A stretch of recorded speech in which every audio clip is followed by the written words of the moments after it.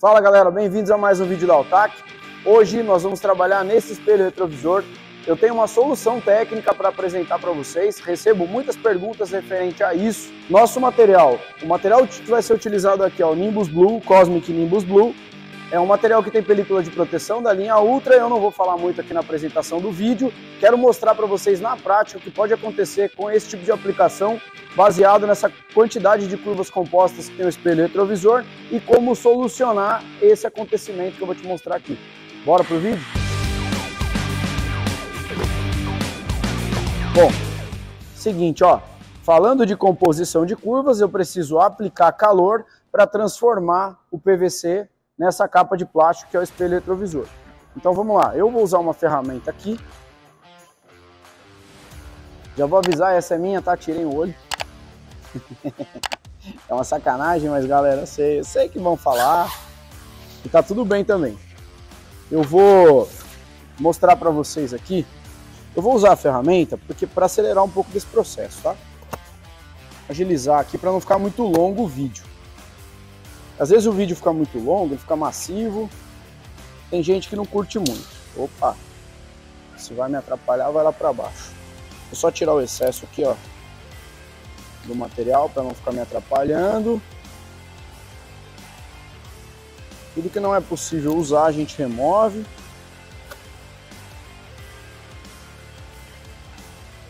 Aí é o seguinte, se tratando de curvas compostas, não tem a possibilidade de fazer sem calor. E quando você aplica calor, normalmente quando você aplica calor no material, você acaba tendo, deixa a máquina esquentar, teimoso. Agora sim. Quando você aplica calor no material, ele começa a relaxar. E aí você consegue ganhar a quantidade de curvas compostas que tem um espelho retrovisor, né? Você acaba transformando um 2D em 3D. Então, só que aí, se tratando de película de proteção, que eu tenho essa película de proteção em cima do vinil, para me livrar dos riscos de espátula, dos probleminhas que podem acontecer aí no futuro, eu acabo aquecendo bastante esse produto e acaba acontecendo uma coisa que eu quero mostrar para vocês aqui na prática. Ó, sem pressa, tá? Sem correria. Eu vou colocar isso aqui atrás para me tomar o formato da peça e vou fazer a puxada.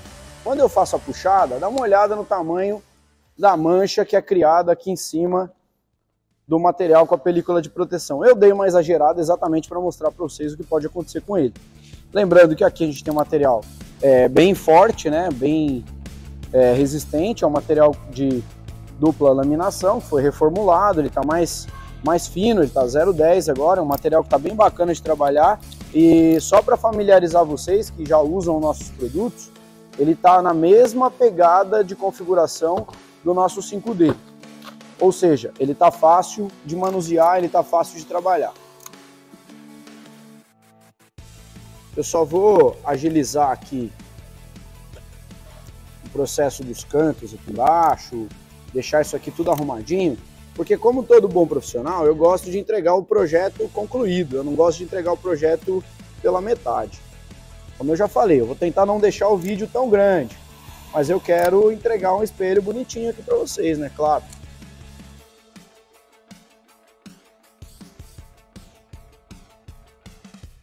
Vocês gostaram de ver meu, meu super bonder aqui, né? é, galera. Vamos lá. O que eu vou fazer aqui agora é a espatulagem, tá? Já que eu fiz a acomodação do material, vou fazer a espatulagem.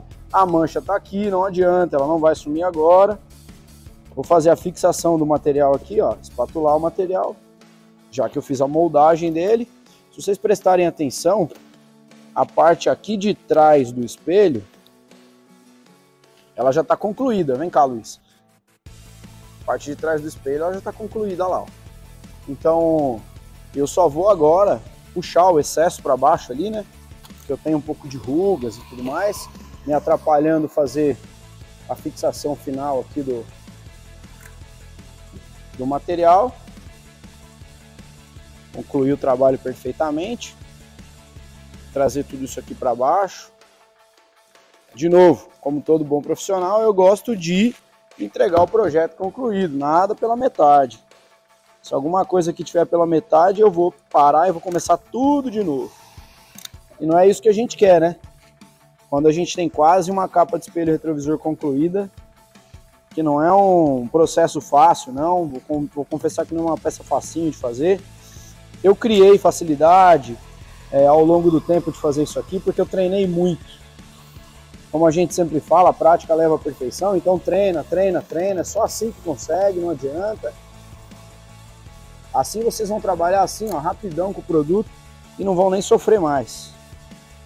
Não sei quanto tempo a gente tem de vídeo aí, mas só fazer uma continha de quanto tempo faz que a gente começou a falar sobre adesivo e tá aqui trabalhando na capa, né? Aí vocês vão entender o que eu tô falando. Quanto tempo dá pra gente fazer um espelho retrovisor, do começo até o final. Ó, agora é o seguinte, vou deixar a máquina esquentar de novo. Eu fiz a aplicação, a distribuição do material, vou checar, tá? Ó, calor novamente. A gente sempre fala, né? Uso passo a passo, desde a descontaminação até a aplicação. Então aplica o material em cima do, da peça, aplicou, faz calor e faz pressão de espátula. Para que o material taquifique melhor, fique mais bem taquificado aqui e você não sofra com retração, com encolhimento e tudo mais. Bom, agora a gente faria a quebra de memória, que não é muito o objetivo do vídeo, tá? O objetivo do vídeo é mostrar para vocês como resolver uma dúvida que toda, toda a maioria me pergunta, Tiago, por que, que isso aqui acontece? Tiago, por que, que isso aqui acontece? Como eu faço para resolver? E eu respondo sempre para a galera a mesma coisa. Então, a gente decidiu fazer um vídeo para mostrar isso aqui para vocês na prática. Que às vezes quem fala não faz, né, galera? Então, vamos mostrar que a gente também faz. É a mesma coisa que eu falo para vocês aí, que eu respondo lá na minha rede social, no meu Instagram. Às vezes respondo vídeos ou mensagens de pessoas que me enviam fotos. Vou fazer a mesma resposta aqui para vocês, só que na prática. Pra gente não passar mais por isso, tá? Vou usar aqui um pezinho de acabamento para fazer a fixação dessas bordas aqui, ó. O intuito aqui hoje não é desmontar a capa do espelho, é mostrar para você como solucionar essa mancha aqui, ó. Com facilidade, tá? Sem sofrer aí. É característico do produto. O produto tem proteção, ó. Essa proteção aqui em cima do material, ó, vai fazer às vezes, ó. Olha aqui, ó. ó. vou detonar aqui, ó. Essa minha espátula, que é a pontinha da espátula se eu fizer isso aqui no material, já era, um abraço, não presta mais o material. Mas com a película de proteção, ele está protegido, ela meio que bloqueia essas ações aí. De buffer, sabe aquele buffer que está há muito tempo na espátula, ele tem contaminação, ele tem sujeira, ele vai riscar uma película, ele vai riscar uma película, né? Vai riscar o frontal de um filme de PVC. Então, para evitar esse tipo de coisa, nós temos a nossa película de proteção é, empregada aqui no material para fazer as vezes de proteger o material para você desses danos todos do dia a dia. Então presta bem atenção, ah, aqui, aqui eu virei a capa e quase que eu danifiquei todo o meu trabalho, quase que eu detonei tudo, ó.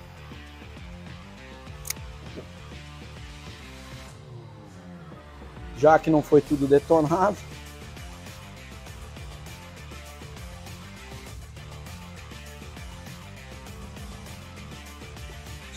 cortar, eu não consegui cortar, espera um pouquinho, deixa esfriar. A gente sempre fala, se não esfriar, não corta.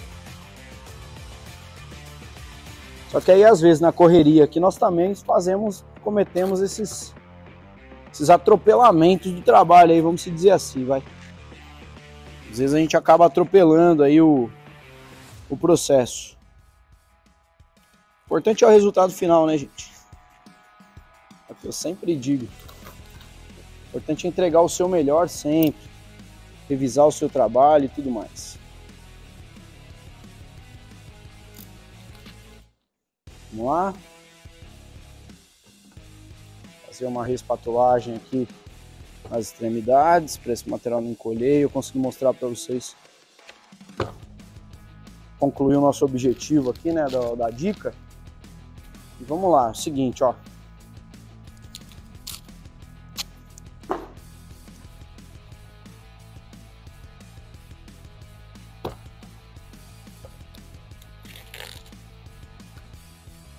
Vem dar uma olhada. Nada do que eu fiz passou para o material, porém eu tenho as manchas todas aí, ó. Que elas estão me atrapalhando e estão me incomodando. Essa mancha aqui deve incomodar vocês também. Eu tirei a película de proteção, sumiu o excesso de mancha, porém está meio manchado o material ainda. Ó. Fotografa ali. Ó. Deixa a máquina esquentar. Quase que eu queimei o dedo aqui, vocês viram? Dá até um...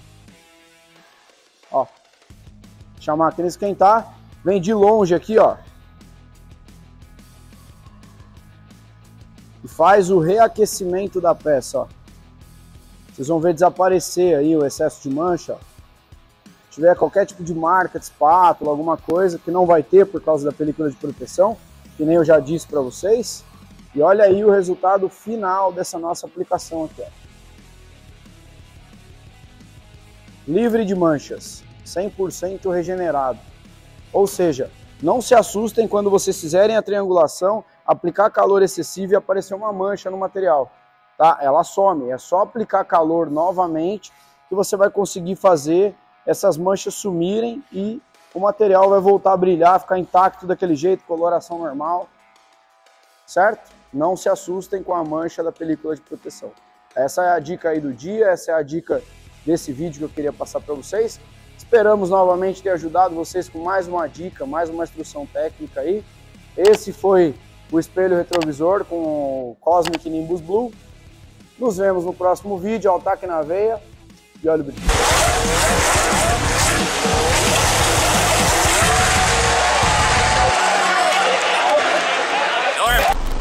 Oh, mas no, no sol também sai, né, Tiago? No sol sai. Toda desculpa, a desculpa de todo instalador é a mesma. No sol sai. Deixa lá no sol que desaparece.